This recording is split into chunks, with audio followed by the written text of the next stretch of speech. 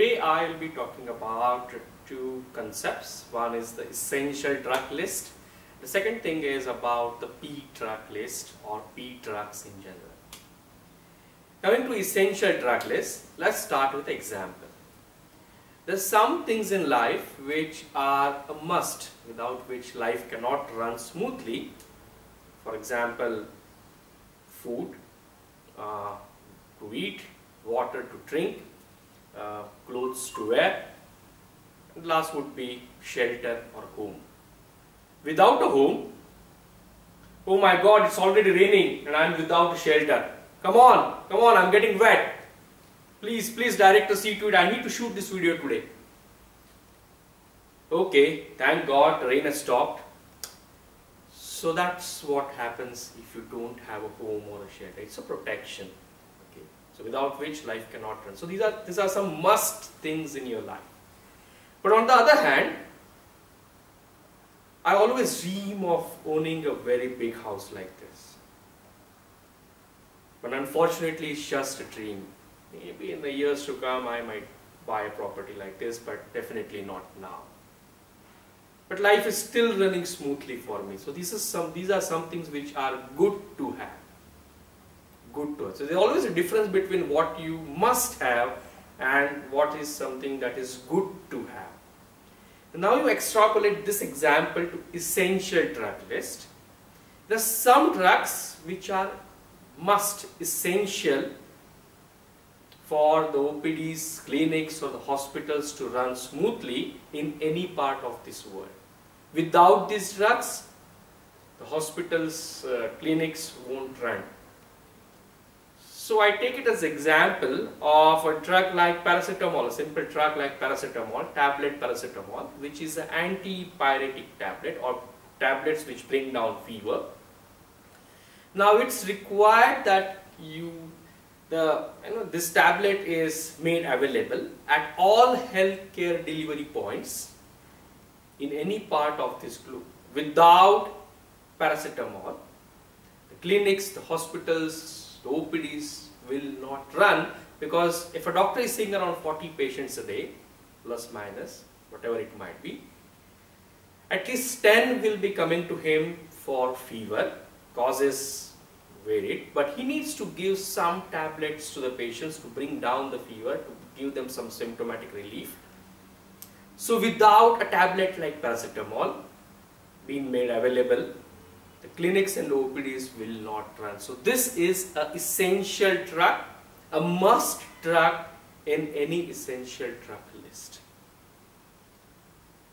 Now if I need to select a essential drug list, uh, uh, drug name, I need to have a drug which is studied all over, so its efficacy data, how effective the drug is, is known and is seen that it's highly effective for treatment of a specific symptom or a disease. The second thing is it should have a good safety profile. The drug should be safe to use. It should not have some very big uh, problems, serious problems of adverse drug reactions or side effects. Okay. And the third thing is it should be comparatively cheap. I cannot have a drug which is of high value in a essential drug list because this are drugs which are essential. Okay, this is not something which uh, the patients might require it rarely. They will require it on a daily basis. So I need to have these drugs being made available at cheap rate. Now this concept of uh, uh, essential drug list was uh, first uh, developed by WHO around three to four decades back. And over a period of time, what has happened is that countries have adopted this essential drug list according to their needs. According to their needs Some diseases are commonly seen in some part of the world as against those diseases may not be uh, of same prevalence in some other parts of the world. So depending upon the disease demography, the essential drug list changes from country to country. This list gets uh, updated daily by, I mean, uh, not daily, uh, gets updated over a period of time by the ministries of each country and this list is made available at all healthcare delivery points. As a doctor or as a healthcare professional, let it be a nurse or a pharmacist, you will often find this drug list available at uh, the clinics and hospitals where you will be practicing. You need to make sure that these drugs are available in stock at uh, whatever clinics and hospitals you will be practicing as a healthcare professional because these are the must drugs. So you need to be aware of these things. Usually what you find is, you know, these drugs, uh, you have so many combinations, you know, drug combinations nowadays. You have uh, two antibiotics uh, combined together, so many other things, you know, uh, which are combined to make the drugs more user friendly. But what you find is uh, usually in essential drug list you have single molecules. Okay? It's not like you know two drugs, fixed dose combinations. Usually, uh, it's not that they are not seen. Uh, but what has happened is medicine is uh, ever-changing science. It's it's it's something which is not static in nature. So uh, it has progressed uh, for the last 40 decades from where it was. And what you nowadays get is an essential core drug list but in addition to that, you also have a complementary drug list in some countries. Some countries have a complementary list. Now these are the drugs which uh, are in addition to the essential drug list. These are basically new drugs uh, which are comparatively found to be effective and are safe uh, and are now widely used also. So you will find this, uh, you know, kind of fixed dose combinations, some newer drugs into this complementary drug list, which is published in uh, in addition to the essential drug list. Uh, now you need to look at these essential drug list uh, whenever you need to study pharmacology. Uh, you need not remember the names of all the drugs which are there but it's, it's a good practice to just just keep an eye on the updates of essential drug list um, in your lifetime because that's of importance. Now that was about, uh, in general, about essential drug list and where it came from and examples of essential drug list. Now let's go to the next part of the story that is P drugs. Uh, P, P, capital P, uh, P for parrot, P drugs, okay. So what do you mean by P drugs? P is something which is personal, something which you own of yourself, P drug list. Uh, now as a doctor you might, uh, you know, as a healthcare professional, you might see around, uh, you know, 30, 40, 50 patients a day. Uh, and you will be practicing in a particular part of the world uh, at one point, uh, at a given place.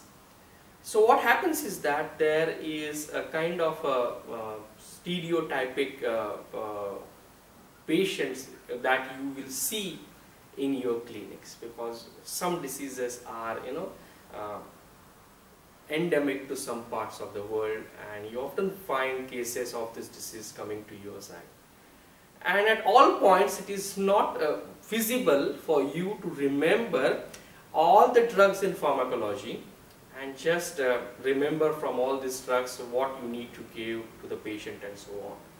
So P drug list is something which you need to develop over a period of time of drugs that you will be using often in your clinical practice. So out of the thousands of drugs which are available nowadays, you might be just using 100 drugs on a daily basis for your patients depending upon the disease factors, the diseases, the illnesses, infectious, non-communicable, whatever it might be. So you'll be just concentrating yourself on those 100 drugs.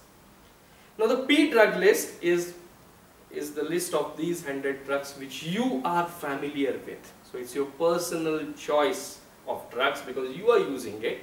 You have decided and you have seen that these drugs are highly effective in a particular case for your patients. So it's your thing, your drugs from the list of the big things.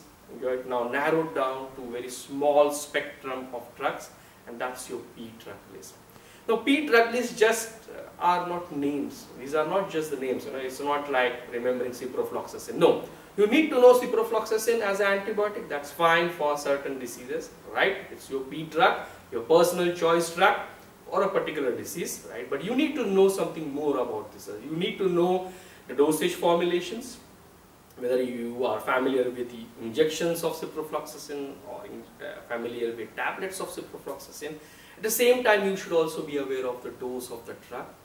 You need to be aware about the efficacy profile, the safety profile of this drug. So you are basically knowing everything about this drug. So those 100 drugs which we thought of, you need to know everything about those drugs because you are using it on a daily basis. You need to update your P drug list over a period of time because what was uh, found to be effective in 1980s, uh, it has changed now. You are in the 21st century, so things have changed. So you need to keep on updating your knowledge of P drug lists, keep on adding drugs to the list, keep on deleting drugs from your list. Things which are of no use today or your better available drugs, add to your P drug list and those which are, you know, just, just not effective, just get them out from your P drug list. P drug list is something as a healthcare professional you need to maintain. It's your personal choice for your patients and it uh, makes your life much easier. So that was my short analysis. Enjoyed my session. Uh, do keep uh, watching. Do subscribe. Thank you.